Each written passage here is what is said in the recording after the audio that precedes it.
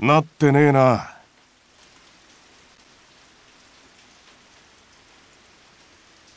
さっきから見ていたが雑念が多い。そんな調子じゃいくら稽古しても無駄だ。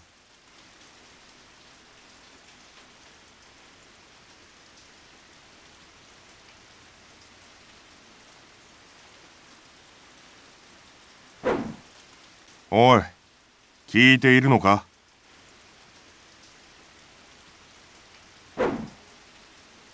おいってば。そんな闇雲に稽古したって怪我するだけだ。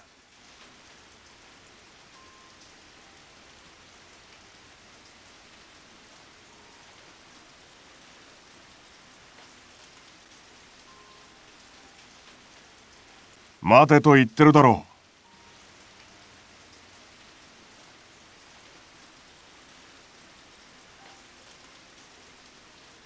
う。いい加減にしろ。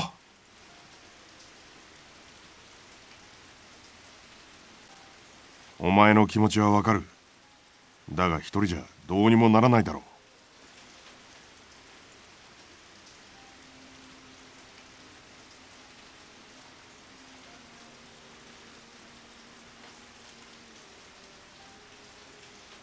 う。だったら聞くがお前は同族を殺せるのか？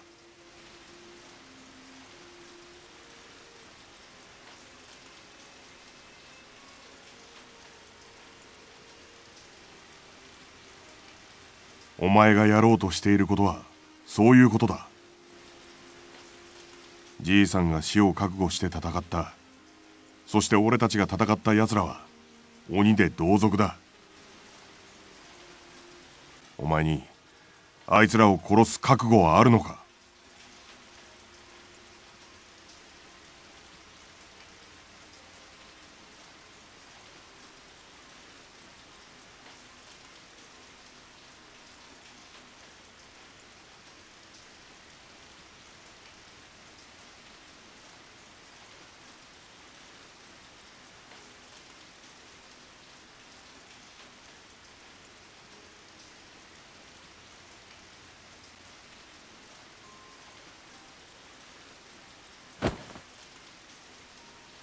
安心しろ。何も心配することはない。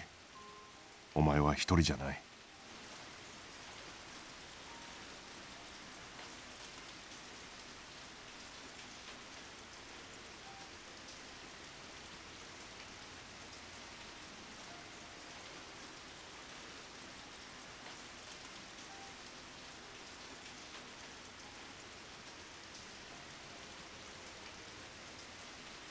お前は真面目すぎだ。少しは頼るってことを覚えろ。言ったよな。俺に頼れって。もう忘れちまったのか？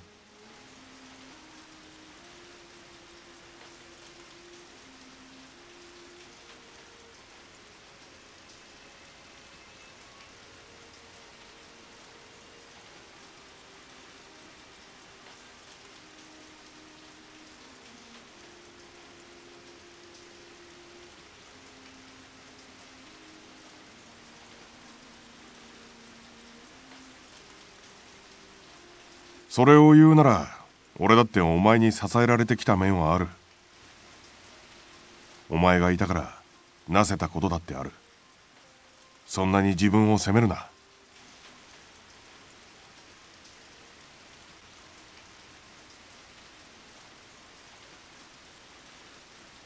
お前は俺のことを信頼しているか？なら話は早い。俺を信じてお前は里に帰れ。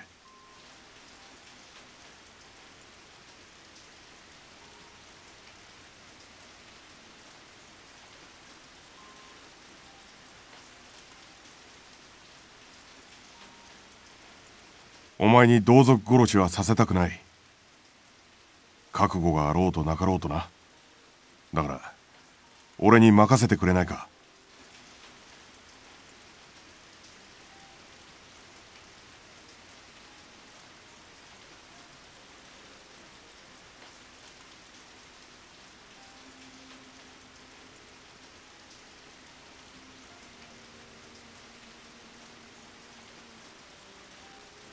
危険は承知の上だ。それにいざという時には奥の手がある。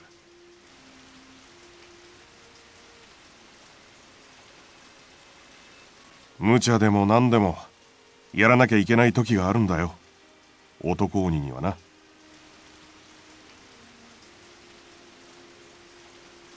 ずるいって言われてもな。こればっかりはどうにもならないだろう。お前は女鬼なんだ。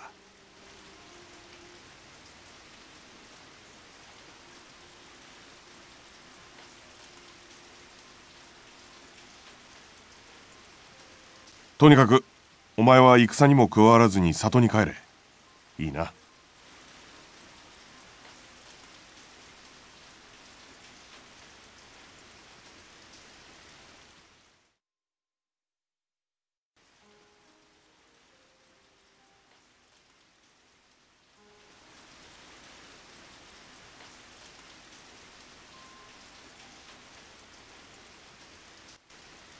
で話とは一体何だ？手短にしろ。なあ時間を割いてすまねえな。話ってのはあいつのことなんだ。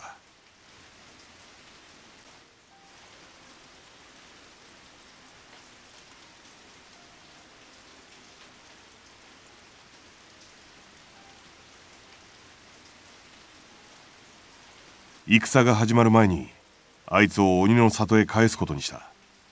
明日の朝出立する。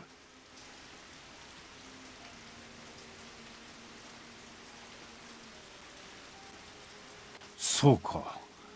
それはもう決まったことなのか？ああ。これは提案でも相談でもない。悪いが決定事項と捉えてもらいたい。うん。一つ聞くがそれはあの女子の意志か？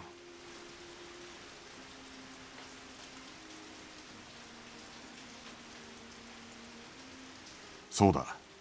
あいつと俺で決めたことだ。だから理解してほしい。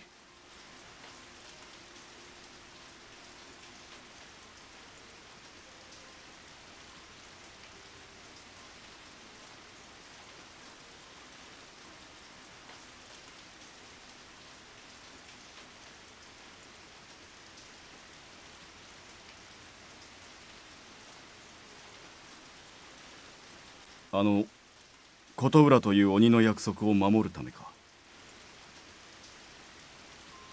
まあそれもあるな。だがあいつは俺にとって大切でかけがえのない存在だ。できることなら一瞬でも危険な目に遭わせたくない。